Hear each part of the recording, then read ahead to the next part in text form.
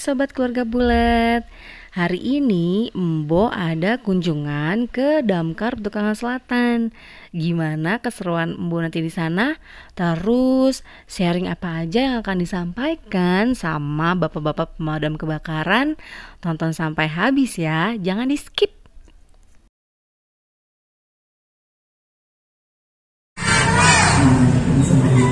Iya.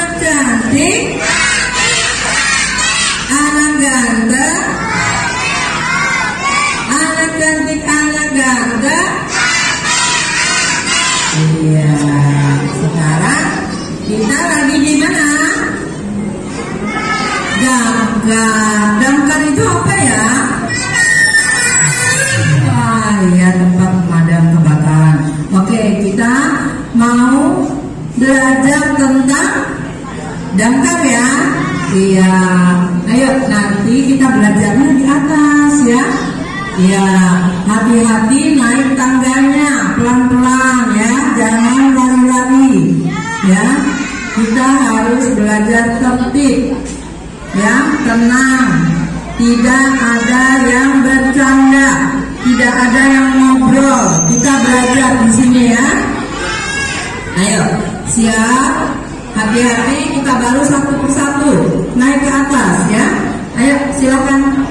Eh, saya mohon untuk bapak ibu tetap di tempat duduknya cari tempat yang nyaman eh, sambil menunggu adik-adik kita di lantai dua.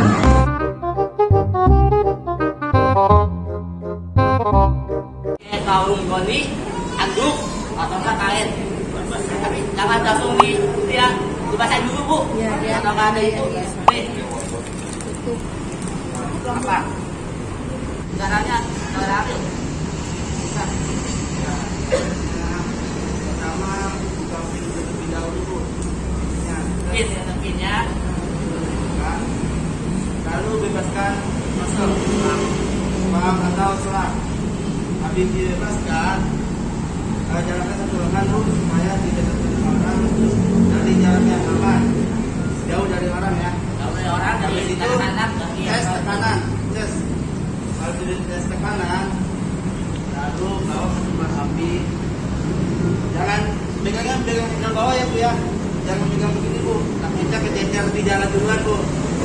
Habis itu ke sumber api beri jarak 3 meter 50 cm, 50 cm. Jadi jaraknya. itu baru semprot bu Eh, yang yang ada di kulkas aku atau enggak itu. nah habis itu disemprot lalu disemprot lagi bu nah lalu lanjut bu Ya, kalau ada itu nanti Sesuai dengan ke peraturan kementerian itu untuk menyimpan apar ini tingginya itu 1 meter 20 jadi tidak boleh terlalu bawah Iya. ya jadi harus digantung. Itu seperti itu contohnya. Dari kantor digantung. Di semeter 20 dan ditempatkan di tempat yang mudah terjangkau kenapa? Tujuannya pada saat sudah terjadi eh, kebakaran memudahkan kita untuk mengambil apa tersebut. Dan aksesnya juga harus sudah mudah terjangkau jadi jangan sampai disimpan yang ngumpet gitu Harus kelihatan karena pada saat kebakaran biasanya kan kita panik ya lupa ya gitu panik. Jadi gimana nih yang biasanya taruhnya di sini lupa gitu kan. Jadi kalau misalkan perawatnya rutin Berbesmili ya. ya bisa-bisa sambil fitness ya ini ya taruh tiga kali. Walau Ya, fitness, cuy, pakai apa? 5 meter ya pak. 5 meter jadi dilihat tekanannya. Tekanannya itu harus ada di jarum yang warna hijau ya harus tengah-tengah. Jangan sampai kurang jangan sampai lebih. Ya. Kalau dikurang berarti kurang tekanannya. Kalau lebih berarti berlebih. Membahayakan. Ya karena ini bertekanan bisa meledak jadi jangan sampai eh, pertama jangan terlalu dingin penyimpanannya. Kedua jangan langsung kena sinar matahari.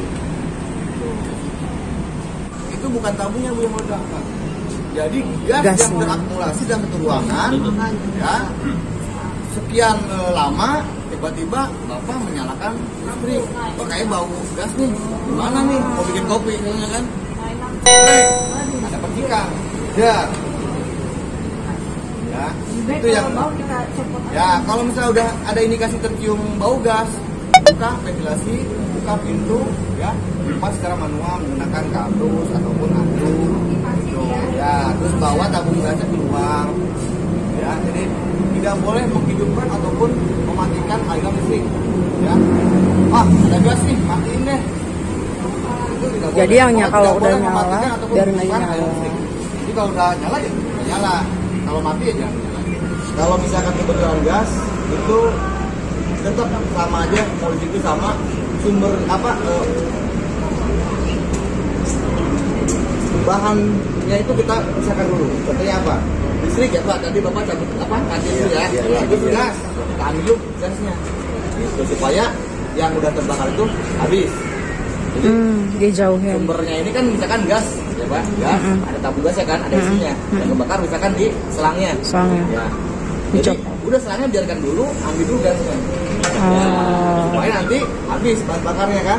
Mm-mm. misalnya di situ baru kita penanganan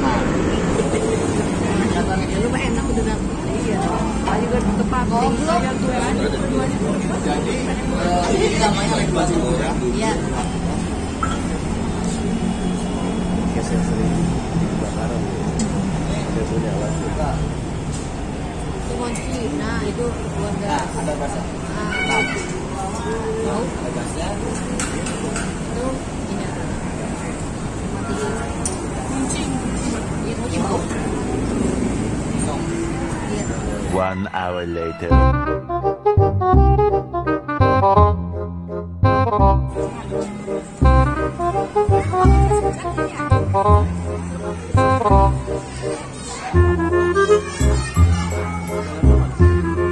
Sepatu di situ. Oh, sendal di tas. Itu lah. Warna apa? Hijau. Sama Bu Neneng tuh. Oh,